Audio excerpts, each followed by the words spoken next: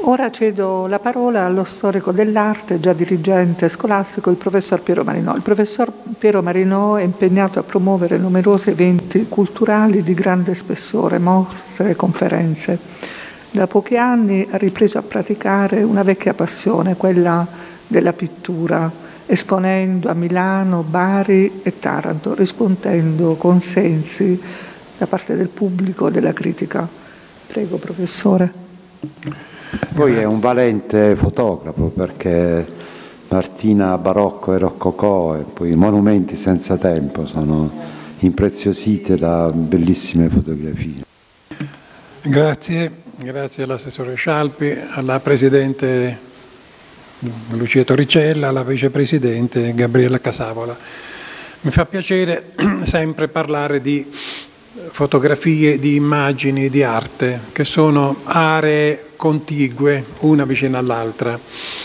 È una passione, quella per la fotografia, che io coltivo da oltre 50 anni, potrei dire 60, quando mia sorella mi regalò una macchina Eura Ferrania che costava 3.000 lire, parliamo della fine degli anni 50, poi si, una caduta per terra si rovinò, prendeva luce e non si poteva più usare, poi ho provveduto io a comprarne altre, da ragazzo avevo la mia camera oscura in casa con la stampante, i liquidi, i cartoncini che compravo da Benvenuto Messia e stampavo anche io. Da, dirige, da, docente ho sempre portato i miei ragazzi in giro a fare fotografie, ma ad avere contatto col territorio. E la fotografia era un mezzo per eh, diciamo, immagazzinare documenti, naturalmente. Da dirigente ho ottenuto anche dei corsi di educazione all'immagine, di lettura della fotografia, ma lasciamo perdere, io non voglio parlare di me, giusto en passant per questo, ehm, visto che il discorso riguarda la fotografia. In un'epoca come la nostra, in cui anche i divertimenti, il tempo libero sono irregimentati, costruiti e creati dall'alto, cioè ci si dice cosa dobbiamo fare, cosa dobbiamo comprare, cosa dobbiamo, come dobbiamo vestire, eccetera, eccetera, noi abbiamo un disperato bisogno di comportamenti creativi per uscire dal conformismo e dagli stereotipi. Ben venga quindi questa mostra, eh, organizzata da Arte Emozioni, che dà spazio alla creatività, ai linguaggi individuali di tanti fotografi. Ogni fotografia è un testo, come un brano di prosa o di poesia, un testo da leggere, decodificare, interpretare, analizzare. Ed è, ed è, ciò che consiglio di fare con ciascuna di queste foto, che tra poco andremo a vedere, perché un conto è vederle sul cellulare attraverso Facebook, altro è vederle dal vero, nelle loro dimensioni e nella loro autenticità. Osservarle a lungo è il solo modo per capirle, apprezzarle, interiorizzarle. Osservate nel loro insieme queste foto, questa mostra, esercitano un fascino profondo sulla fantasia collettiva e finiscono per diventare patrimonio di tutti, nostro, per arricchire il nostro animo, la nostra spiritualità. Queste immagini escono dagli spazi oppressivi e angusti del dilettantismo fotoamatoriale per lanciarsi nell'avventura del racconto fotografico, per costituire nel loro insieme un fotolibro. Si tratta di documenti poetici, espressionisti, lirico-realisti, descrittivi, momenti di un viaggio che conduce in uno spazio poetico sublimato da immagini di rara poesia, filtrata da una tecnica spesso virtuosa. È allora che il nostro senso estetico entra in azione e una mostra come questa acquista senso. Se il gusto si educa attraverso la familiarità con le opere d'arte, con il gusto del bello, questa mostra ha raggiunto il suo scopo in quanto educa. Quello dell'immagine è un racconto che ha preso l'avvio con le immagini delle grotte di Lascaux, le incisioni in Val Camonica attribuite ai Camuni, nei disegni rinvenuti nella Grotta dei Cervi a Porto Badisco. cioè con la comparsa dell'uomo, e che non sarà mai interrotto, almeno sino a quando l'uomo sarà vivo, perché l'uomo cercherà sempre di dare corpo alle immagini, è un, è un, è un istinto primordiale. In queste foto gli autori riversano la propria sensibilità, la propria cultura, le proprie ansie, la ricerca del bello, per regalare a tutti noi questa loro aspirazione. Del resto la macchina fotografica è solo un medium, cioè un, un mezzo, il, un prolungamento del nostro essere. Non basta fare click. Spesso ciò che vedono i nostri occhi non è ciò che vede la macchina fotografica, sicché ad esempio le foto di paesaggi possono risultare frustranti, possono deludere. Bisogna disporre di un occhio sensibile, di uno sguardo acuto con cui vedere la natura e disporre di una conoscenza perfetta delle risorse della macchina fotografica. Ma la foto richiede, come hobby, oltre ad una grande passione, anche pazienza, saper attendere e cogliere l'attimo giusto al momento giusto. Vi sono situazioni che svaniscono nel giro di pochi minuti, se non di pochi secondi, ma il fine ultimo è uno e uno solo, emozionarsi, provare stupore, conservarlo gelosamente in un clic. Le foto sono finestre sull'infinito. Fotografare è riconoscere in un istante, in una frazione di secondo, un evento cogliere l'attimo, fotografare e scoprire se stessi. Il fotografo, come l'artista, è in grado, attraverso le proprie opere, di restituire la bellezza della natura, a volte di creare una bellezza che la natura non mostra, cela gelosamente per mostrarla soltanto agli occhi di chi è capace di coglierla. Le foto allora sono emozioni imprigionate, registrate in uno scatto. Andare per fotografie, come ben sanno tanti amici, è un andare a caccia di emozioni e solo successivamente subentra il desiderio di comunicare ad altri i propri stati d'animo, il rapporto creato con l'ambiente, con un soggetto. Ogni fotografo crea, in primo luogo per procurare una soddisfazione a se stesso, mettersi in gioco, perché così sente di realizzarsi.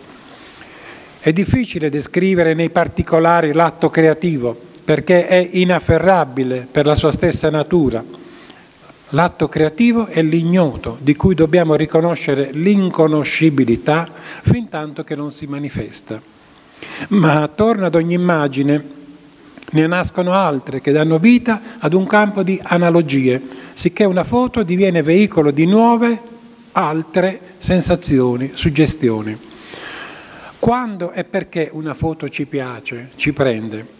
Sicuramente a volte basta il soggetto, un paesaggio, un dettaglio, un ritratto, un bambino, un fiore, ma ciò a cui bisogna guardare è la duttilità del fotografo, la sua capacità di vedere ed esprimere il soggetto, la sua ispirazione, l'originalità, la sensibilità ai problemi nelle foto di denuncia, nei ritratti, l'empatia con che egli riesce a costruire con la luce, con la situazione, la capacità di sapersi calare con tutto se stesso nel soggetto affrontato, qualunque esso sia. Ogni fotografia è unica, rappresentativa del fotografo, di chi ha scattato il tasto che fa clic. Ci possono prendere di più o di meno, ma nessuna foto è da promuovere, nessuna è da bocciare tutte ci regalano uno stato d'animo, una sensazione. Ci, certamente ci sono sguardi più colti, più esperti, più profondi, ma tutte queste immagini sono sicuramente da apprezzare. Bene, l'arte arte emozione ha creato questo oggetto, questa mostra che è di là nel museo, nelle sale del Museo delle Pianelle. Cosa facciamo di queste foto? Ce le teniamo per noi? le guardiamo noi, le, le offriamo al pubblico. Il mio animo di ex insegnante, ex preside, va sempre ai ragazzi, è sempre a loro che penso. E quindi credo che bisognerebbe educare i giovani alla fotografia. Che cosa vuol dire? Che non è solo insegnare a scattare, inquadrare, ma avvicinare alla natura, avvicinare alla realtà, al contesto, alle persone, al contesto umano.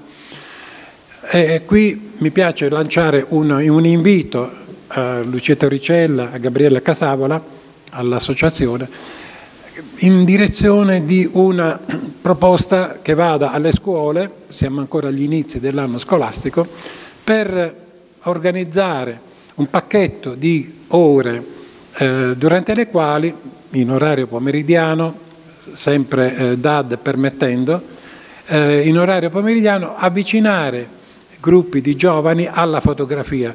Io penso che se ogni fotografo ma alcuni non potranno magari perché risiedono fuori, ma se ogni fotografo dedicasse una o due ore di questo pacchetto educativo alla educazione alla fotografia rivolta ai giovani, faremmo una cosa interessante e veramente utile. E non posso fare a meno di citare che 30 anni fa, 1991, come è scritto sul retro, novembre, aprile 91, il distretto di cui facevo parte, il distretto scolastico, presidente Lidia Ferrara, pensò ad una iniziativa come questa, cioè di avvicinare i giovani delle scuole alla fotografia. Furono coinvolte le scuole elementari Marconi e Giovanni XXIII, parteciparono varie classi e con l'aiuto importante di Pino Bonasia fu allestito un laboratorio di camera oscura, i ragazzi andarono prima in giro a scattare, a fare foto anche dei compagni e poi a svilupparle e a stamparle in camera oscura. Fu un'esperienza unica, del resto se leggessi i, i commenti eh, di questi ragazzi se potessi comprare gli attrezzi adatti potrei addirittura stampare e fotografare per tutta la vita. Se da grande avrò la possibilità di diventare fotografo, lo farò con molto impegno. Giuseppe Martucci. Al momento dello stampa ero molto emozionata e troppo insicura. Pensavo che fosse molto difficile, ma è stato abbastanza semplice. Annalisa Labate. E così tanti altri, sono eh, riflessioni. Aspettavo il mio turno Ero quasi davanti all'ingratitore per, per riprodurre la mia fotografia, il cuore mi batteva. È arrivato il mio turno, mi sono avvicinata all'apparecchio, avevo paura. Ma ecco, si spegne la luce, perché in camera oscura bisogna lavorare così, e con coraggio e prudenza mi metto all'opera. Qualche secondo di trepidazione e vedo che la mia fotografia è riuscita. Che gioia, eccetera, eccetera. Ecco, esperienze come queste poi restano per tutta la vita, sono formative e riescono a dare un, dire, profondità all'animo dei giovani che bisogna cercare di formare ora, perché in questa fascia di età, dai 7 ai 15 ai 18, poi diventa tutto molto più difficile. I ragazzi giovani sono delle spugne, come spesso dicevo ai miei insegnanti, quindi basta seminare. Se l'associazione Arte Emozione coglierà questo invito, io mi metto a disposizione per dare alcune ore in un eventuale pacchetto educativo da proporre alle scuole. Grazie. Ecco, senz'altro sì. Senz'altro eh, sì, eh, Piero, perché è un progetto molto interessante. Eh, bene hai detto con la tua presenza. Ecco. E in ultimo volevo eh, chiederti se ci puoi regalare quegli appunti. Ecco, Grazie. È molto, molto pregno di, di cose